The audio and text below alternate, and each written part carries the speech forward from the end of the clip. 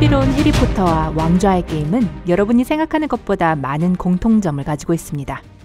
둘 다 불 뿜는 용과 온갖 주문이 등장하기도 하지만 무엇보다 열댓 명 이상의 동일한 연기자들이 나온다는 점에서 그렇습니다. 무려 14명의 배우가 두 영화 모두에 등장하는데 그 중 한 명은 더 특별합니다. 왕자의 게임에서 하나도 둘도 아니고 무려 6가지 역할을 맡았거든요. 그 위대한 배우가 누구인지 이 영상에서 확인해 보세요.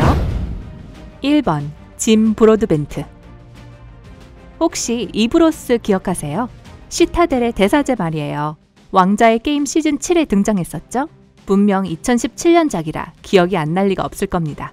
하지만 은퇴했다가 다시 호그와트로 복귀한 호레이스 슬러그혼 교수였다는 건 확실히 기억이 안 날 수도 있어요. 이 두 캐릭터를 연기한 사람은 영국 배우 짐 브로드벤트입니다. 그는 또 다른 판타지 영화인 나니아 연대기 사자와 마녀와 옷장에서 디고리 커크 교수 역을 맡기도 했어요. 전쟁이 일어나자 아이들을 자신의 시골집에 머물도록 했죠. 보아하니 이분은 교수 역할을 참 많이 한 것 같네요.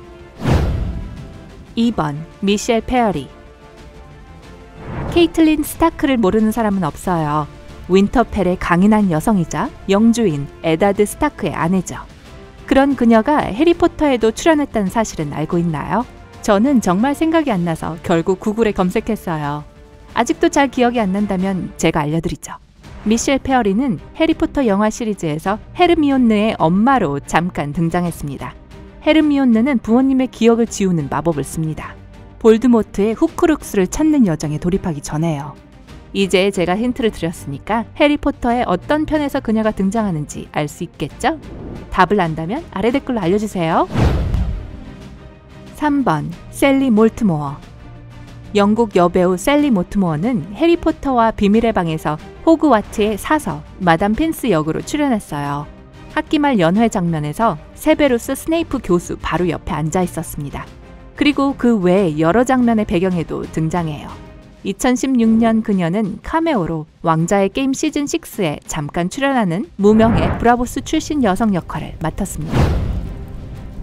4번 프레디 스트로마 프레디 스트로마는 호그와트 학생 중 한 명인 코맥 맥클라겐을 연기했어요. 그리핀도르 팀의 파수꾼이었죠. 슬러그혼 교수의 클럽 크리스마스 파티에서 헤르미온느를 귀찮게 따라다니는 남자 말이에요. 왕자의 게임의 여섯 번째 시즌에서 샘 월 탈리의 동생 디콘 탈리로 등장했어요. 5번 줄리안 글로버 그가 해리포터 영화에 나왔다는 걸 기억하지 못하는 건 여러분의 잘못이 아닙니다. 왜냐하면 얼굴을 드러내지 않거든요. 그는 아라고그의 목소리로 출연했어요. 금지된 숲에 사는 해그리드의 거대한 거미 친구 말이에요. 왕좌의 게임의 팬들이라면 그가 여러 왕을 모신 그랜드 마에스터인 걸 보자마자 알아차릴 수 있을 겁니다. 6번 니콜라스 블레인 니콜라스 블레인은 해리포터와 불사조 기사단에서 아서 위즐리의 마법부 동료인 밥을 맡아 스쳐가듯 출연했습니다. 왕좌의 게임에서는 그것보다 살짝 긴 배역인 콰스의 향신료 왕으로 등장했죠.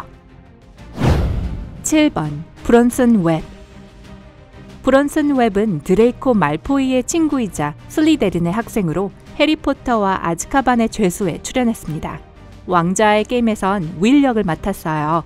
화이트 워커와 마주치자 도망친 밤의 경비대 중 한 명으로 추후에 네드 스타크에게 처형당했죠. 그는 조연에 불과했지만 관객들에게 깊은 인상을 남겼습니다. 화이트 워커를 처음 목격하는 인물이었기 때문이죠. 이 영화 배우는 다른 두 가지 성공적인 프랜차이즈 작품인 다크나이트 3부작과 조니 뎁 주연의 캐리비안의 해적 시리즈에도 등장했습니다.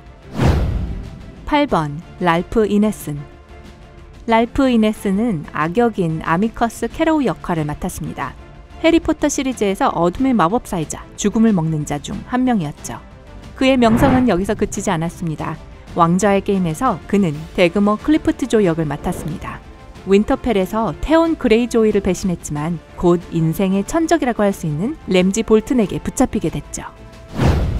9번 다니엘 트위트 죽음의 성물 1편에서 다니엘 트위트는 바글바글한 복도 신에서 비쩍 마른 마법부 마법사로 짧게 등장했습니다. 왕좌의 게임에서는 왈더 프레이의 아들 로타르 프레이 역을 맡았습니다. 시즌 3에서는 톰 브룩이 맡았던 역할이죠. 10번 에드워드 튜더폴 아마 해리포터 영화에서는 그를 못 봤을 겁니다. 왜냐하면 그는 앤 버크 상점의 주인인 미스터 보긴 역을 맡았으니까요. 해리포터와 비밀의 방의 영화 상영본에서는 안타깝게 편집됐지만 그를 정말 보고 싶으신 분은 감독판 DVD를 구매하세요. 해리포터와 마찬가지로 왕좌의 게임에서도 작은 역을 맡았습니다. 시즌2의 한 에피소드에서 거리에서 절규하는 이름 모를 전도사로 등장했죠. 11번 나탈리아 테나 나탈리아는 해리포터와 왕자의 게임 두 영화에서 비중 있는 역을 맡은 몇 안 되는 연기자입니다. 해리포터에서는 보라색 머리가 돋보였던 마녀 님파도라 통스를 연기했죠. 기억하세요. 님파도라라고 하지 말고 통스라고 불러주세요. 그러다가 왕자의 게임의 첫 시즌에서 용감 무쌍하고 통통 튀는 오시아 역을 맡았다가 리콘 스타크와 함께 시즌 4와 5에서 자취를 감췄습니다. 여섯 번째 시즌에서 오랜만에 모습을 비췄지만 얼마 지나지 않아 램지 볼튼에게 당해버렸죠. 12번 데이빗 브래들리 데이빗 브래들리는 호그와트의 심술궂은 관리인 아구스 필치 역으로 유명합니다. 해리포터 시리즈에서 그의 역할은 대부분 고양이인 노리스 부인과 함께 복도를 걸어다니면서 규칙을 어기는 학생들을 호시탐탐 노리는 거죠. 필치는 상당히 sadistic한 성향을 가진 캐릭터로 학생들에게 더 심한 벌을 가할 수 없어 안타까워합니다. 하지만 왕좌의 게임에서 그의 소원이 이루어졌습니다. 월더 프레이 역을 맡으면서요. 그는 극중에서 스타크 가족을 배신했죠. 하지만 그가 행한 가장 악랄하고 잔인한 행동은 TV 시리즈 레드 웨딩에서 드러납니다. 13번 키어런 하인즈 키어런 하인즈는 알버스 덤블도어의 동생인 에버포스 덤블도어 역을 맡아 마지막 해리포터 영화에 등장했습니다. 그는 짐 맥마누스를 대체했는데 짐은 해리포터와 불사조 기사단에서 그 역을 맡았었죠. 왕좌의 게임 팬들에게 그는 자유민의 왕 만스 레이더로 알려져 있습니다. 장벽 너머의 왕으로도 불리는 그는 나이트 워치가 두려워하는 인물로 성장하게 되죠. 14번 이안 화이트 216cm의 키를 자랑하는 이 영국 농구 선수 출신 배우는 거인 역할을 여러 차례 맡으면서 스크린에 등장했어요. 해리포터와 불의 잔에서는 전신 촬영 대역으로 나섰는데요. 올림프 맥심이라고 거인 혼혈인 보바통 마법 학교 교장 역할이었습니다. 그래서 우린 영화에서 그의 얼굴은 볼 수 없죠. 해리포터 영화에서는 얼굴을 드러내지 못했지만 왕좌의 게임에서는 여러 역할로 연기를 펼쳤습니다. 시즌 1과 2에서 화이트워커로 등장했고 시즌 3과 4에서는 와이들링 부대의 거인 동고 역을 맡았으며 시즌 5와 6에서는 거인 운운 그리고 일곱 번째 시즌에서 두 거인 유령, 여덟 번째 시즌에서도 리안나 몰몬트와 대결하는 거인 유령으로 출연했습니다. 이 TV 시리즈를 구성하는 8시즌에 다른 역할을 맡으며 꾸준히 등장한 겁니다. 이 중 여러분이 알아본 배우는 총 몇 명인가요? 아래 댓글로 알려주세요. 오늘 새로 알게 된 것이 있다면 이 영상에 좋아요를 주고 친구들과도 공유해주세요. 잠깐 아직 가시면 안 돼요. 여러분이 확인하셔야 할 2000개 이상의 재미있는 영상이 기다리고 있습니다. 왼쪽, 오른쪽 중 하나를 선택해 클릭하신 후 즐겁게 감상하기만 하시면 돼요. 밝은 면에 머무르세요.